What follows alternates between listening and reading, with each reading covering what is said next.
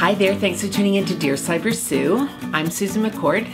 Today's topic is jumping fast into a new relationship overlooks the red flags.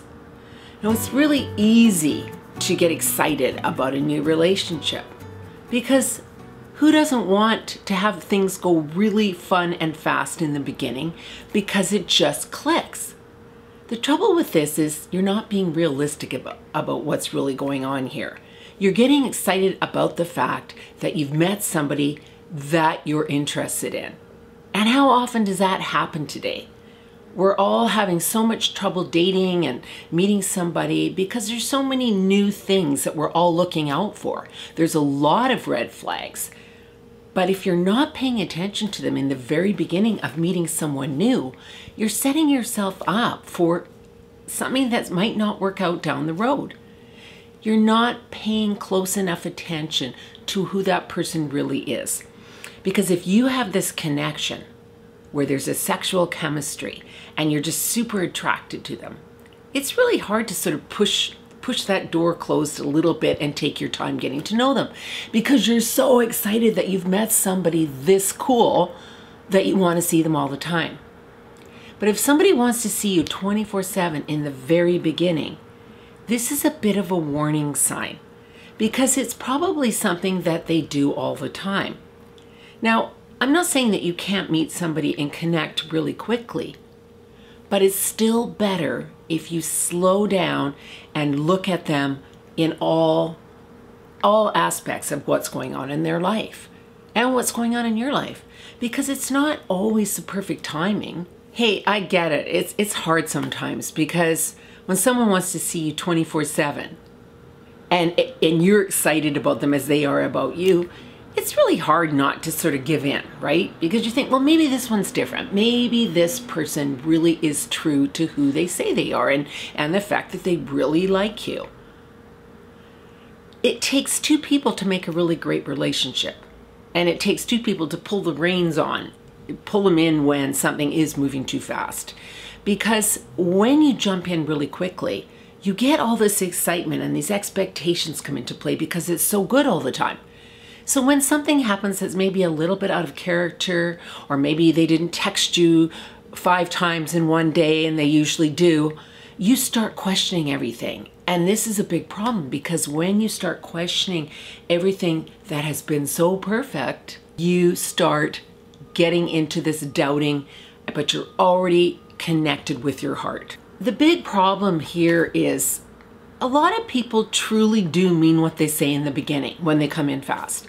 They believe it because you're so cool and you are the person that they've been waiting for. So they think, and you think the same thing.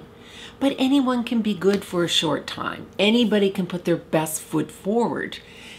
And we all have that in us, which is a good thing. But it's not realistic to only have that sort of perfection and everything so smooth because life isn't like that 24 7 and full time. We all have to sit back and understand there's going to be times in our life where we have to deal with things. And is this new relationship going to be able to stand the test of time with that? You don't know that unless you sit back and slowly see who they are in lots of different circumstances. The, the big trouble with going in fast to a new relationship is unfortunately a lot of them end just as fast. Because, as I said earlier, the expectations are already put out there because it's been so good. This can often happen when sex is introduced really quickly in your relationship because if it's fantastic between the sheets with the two of you, hey, that's a tough thing to let go of. And you want more of that. You want to keep going in that department. But then it becomes purely a sexual relationship, which is okay if you're not looking for a long term commitment with somebody. But in the very beginning, you have to have a lot of other things too. Lust is amazing, but it doesn't necessarily stay in the relationship forever and ever and ever you can still have make love with each other and have a good sexual connection, but it might not be that powerful chemistry that you had in the beginning. And this is something you have to be realistic about. So it's really important to be alert with everything that's going on in the first month or so of dating somebody, if they're talking really quickly about the future, they're full of compliments and, and all these things, it's really hard to stay on that pedestal that they've put you on. It's really tough because you're not always going to be perfect. You're going to have days where maybe you're feeling down or you've got things you're dealing with that take your mindset in a different direction. And this causes problems when everything goes so great and so fast in the beginning because, as I said, it changes the dynamics of what you thought was there. And so a lot of people run in really fast and then they go, Well, I screwed up on that one because it didn't work again. Well, the reason it didn't work is because you're not taking the time to really get to know them. And the disappointment that happens when everything isn't perfect comes into play and makes you say to yourself, okay, this isn't the right one. But the chances are it could very well be the right person, but you haven't taken the time to really get to know each other. Another thing, are they emotionally connected to you? Or is it just sort of a sexual thing? You want to pay attention to all these these things that make a relationship stand the test of time. Because as I said earlier, you can have this really lustful connection with someone, but there's so much more that goes into a long-term relationship. And you've come to this video because obviously that's what you want. You're also thinking, well, maybe I do fit into this category. So I want to make sure that I'm doing all the right things when I meet somebody. Be the one to slow it down. You don't have to be play the games where, oh no, you know, I'm busy for two weeks. You just say, look, I've, I've got a couple things on this week. How about Thursday? See them once a week, maybe twice a week if there's something going on. But keep the mystery alive because you want to see each other again. Take the time to really get to know who they are inside. And they need to see the same about you too.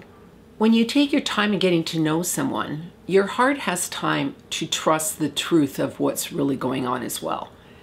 Because you need that time to be able to look at them and say, okay, is this who they are? Is this all there is? You want to find out as much as you can about somebody if you're going to share your life with them. Jumping in, moving in together in the first couple of months, yes, it can work once in a while. But the chances of that happening are not really a good percentage long term, take your time. Ask the right questions. Have some fun with them. Watch how they are with other people. Watch what they say and do. Actions and voice are really big and very important. We all want that great chemistry, and that is what keeps us coming back for more in the beginning, absolutely. And we all know that's true, and you can't pretend that's not going to be a part of the equation. But you also have to be very aware that lust can lead you down the wrong path as well. So, once again, please take your time when you're first meeting somebody. Don't jump in on all fours and try and get something going here because it's just the most perfect person you've met in so long if they're that great in the very beginning, they're worth the time that you invest in getting to know them. Thank you for tuning into Dear Sybersue today. Please leave your comments below. If you haven't subscribed, I really appreciate if you could do so. Click like. Thanks so much. We'll see you next Wednesday. Bye bye.